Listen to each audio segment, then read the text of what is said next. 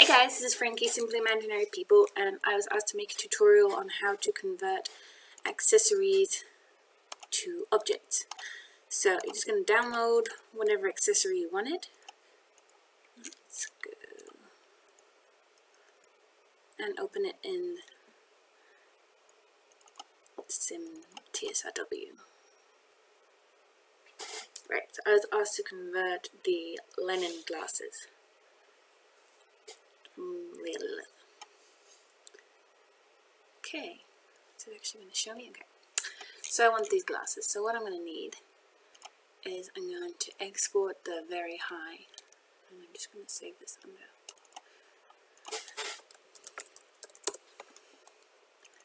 the high LOD. I'm just going to call this mesh oops, I need this as dot object, not as dot auto. So mesh as dot object, and then I'm going to export the textures. So uh, press on button again. Export the mask. Export the multiplier. And export the specular even though I think that's the same as the multiplier. Yeah, okay. Um, okay, only has one color. Good. So now you're just going to open Blender and you're going to import that object. So, nope, downloads. So the mesh. And you'll see it's floating up here. So I'm just going to press 5 and then 1 on my numpad and it'll give me this view.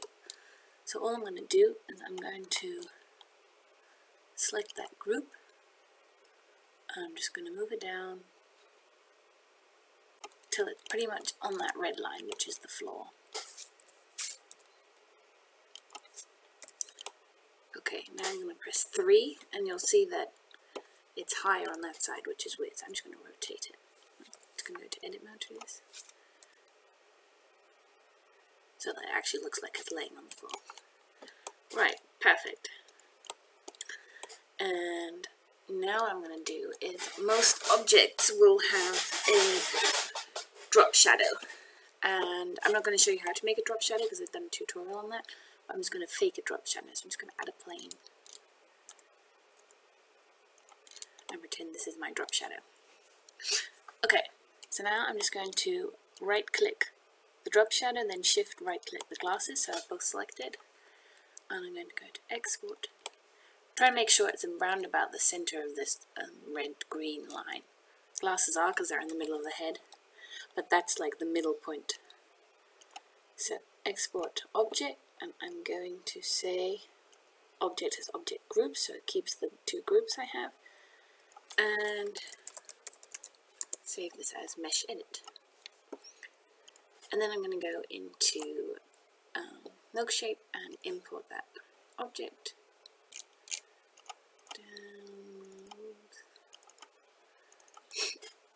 There we go. And I'm going to delete it. Now, glasses have gloss, obviously, so I'm going to check how they did it. And just check out their mesh materials. So their glasses are actually not see-through so I don't need a glass mesh. If they're see-through, they usually have another group. If they were see-through, I would have to copy these details into a um, mesh that has glass. So I don't have glass, so I need to open a um, normal decorative object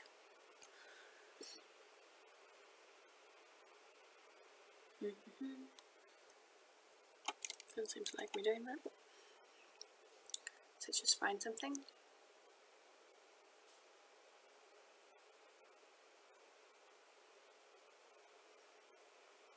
Takes a while to load.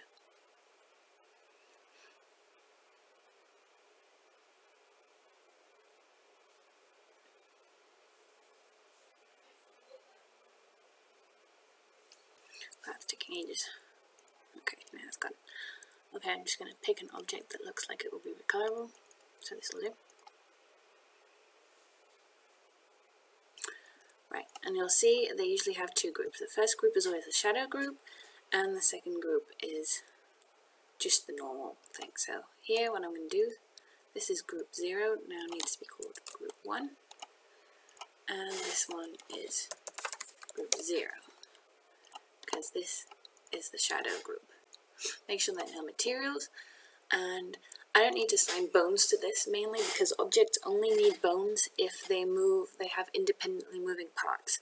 So if one part of the object moves different to the other part, so like a fridge where the door opens but the body of the fridge doesn't move. So things like that need bones. Things like chairs that just move as one solid piece don't need them, and deco objects also don't need bones. TSRW automatically gives them the deco bone pretty much. Okay, so export TSRW object, mesh, edit. Then I need to make another one that only has group 1, uh, group 0, and I need to lower the poly, so this will be my LOD. Mm, and it's decided to crash, that's always so useful.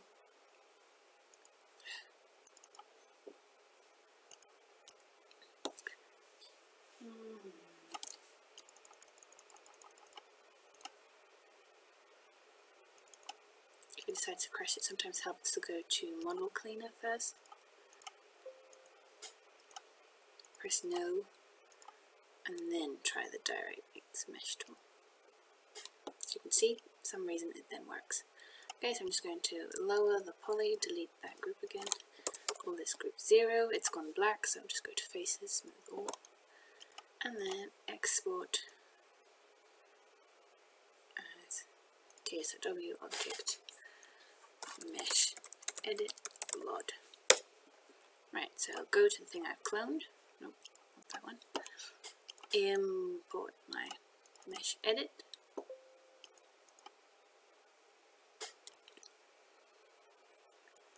There we go. Import my mesh edit LOD. Um, you'll see because I didn't make an actual um, drop shadow, it doesn't have a shadow, so that's fine. If I'd have made a proper one via my tutorial, it would have a shadow. Now go to Shadow High Level of Detail, press the blue signs, select the second group, that's the shadow group, I don't want that. Make a shadow, go to Medium Level of Detail, make a shadow from your Medium, Detail, Mesh. Right, it'll look weird, obviously in TSRW most of the time. Now we're going to go to textures and we're going to import your mask. Press yes. And I'm going to import my multiplier and press. And then I'm going to, because it's the same as the multiplier, I'm going to browse for it, so not to import it again.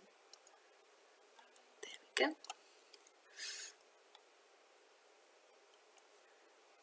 And you'll see, I think, you can see that the glass is kind of see-through. Now, in um, objects to make this work, you actually need that to be a separate group. So you've got the problem that group 1 is Phong, and Phong is always just going to be um, solid. So the problem is that this one actually in game won't show it as partially see-through. Okay, so what we need to do is we need to go back to Blender, sorry and I'm going to select the glasses by going to edit mode and pressing L over the glass parts, like this. And then I'm going to press P, parent by selection, and go to object mode.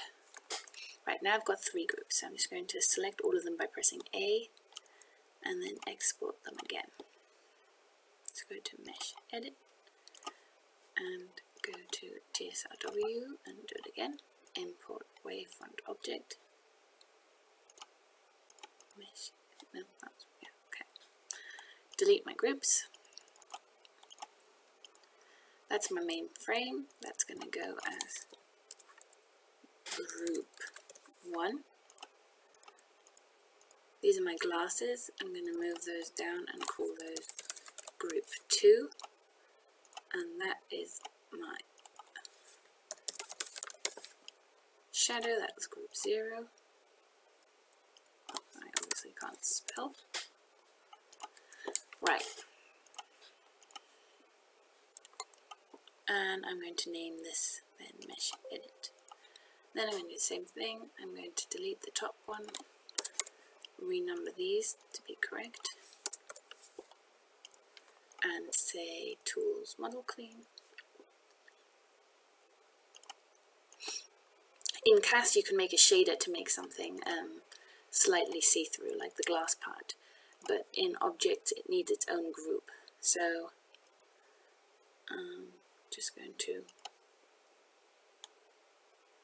hope this works. No, it doesn't. Yeah. Really doesn't like me.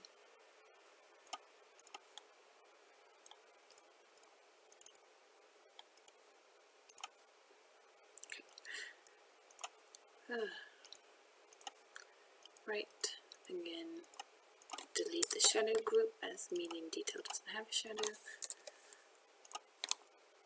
And try it again.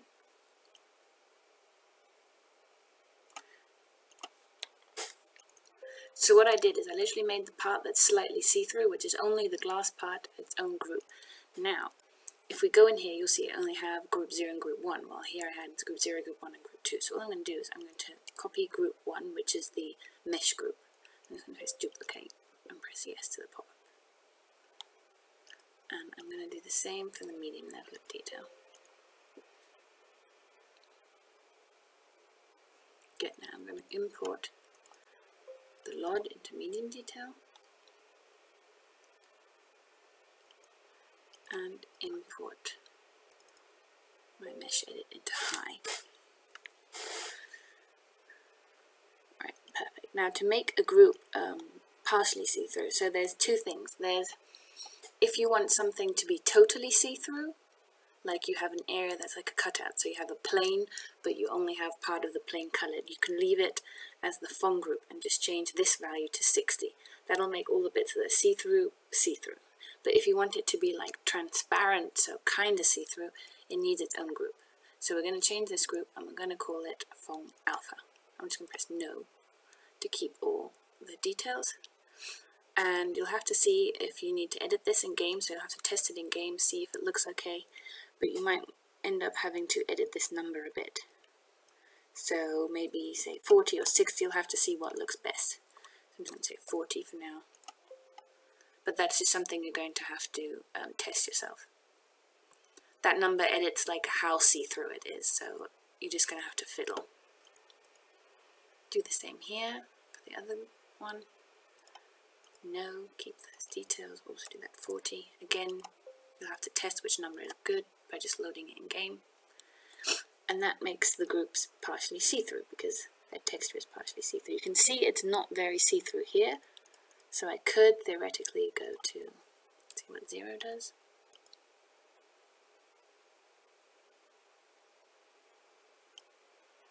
Also not, or like, really depends what looks good.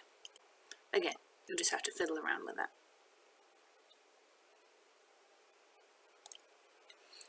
Right, and now I'm just going to go to textures and I'm just going to go to this texture and do something cool. So I'm just going to go to edit, export, and I'm just going to call this one. And then I can go to here and I can go import and import the one. And export the second color, just right over it, import second color, and then export third color and import third color. Now see it's not changing. Let's make sure, okay there's no overlay, make sure there's no overlay. I think there's probably like oh, I had a fourth color. I don't have a fourth color, so just make that false. There you go, your glasses now should look like those glasses. Make sure you delete any further recolors.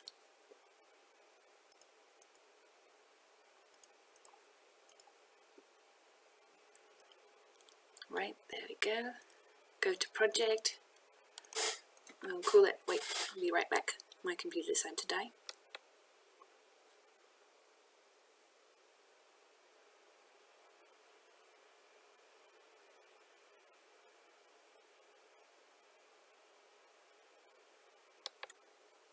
Okay, so just call it uh, Lennon glasses. copy to all save, converted by ordinary people, to save, making cost like five simoleons. Right now I want it as decor, yes. Miscellaneous decor, that works for me. Bathroom, maybe bedroom and living room as accents. That works. Okay, and now also make sure at the bottom, oh, untick that weird thing. Uh, it says WF anywhere, that's correct. Okay.